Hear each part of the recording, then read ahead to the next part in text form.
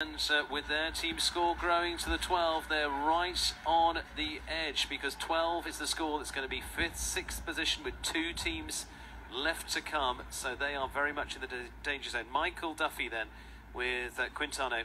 And uh, just bought this horse out the first time for the uh, league competitions in Doha a few weeks ago. He's nine year old by Quintero. But it was a really nice round there to go for just the one time fault. Just as a little look down there.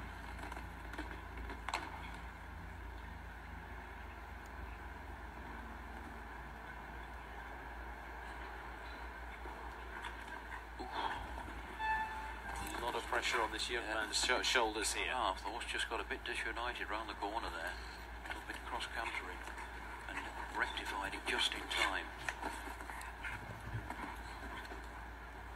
This man is a, a brilliant young Irishman. He is a some pilot, I tell you. A great jockey. This is only a nine year old.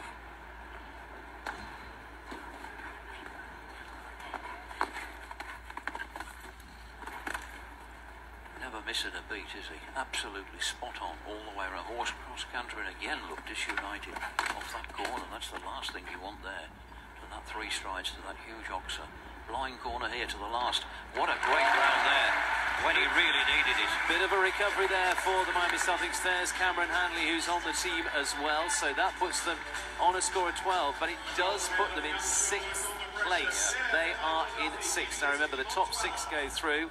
There's two teams left to come. They've got some serious nail biting to come for the uh, Celtic squad. And Fred- Frederick's down with uh, the team manager.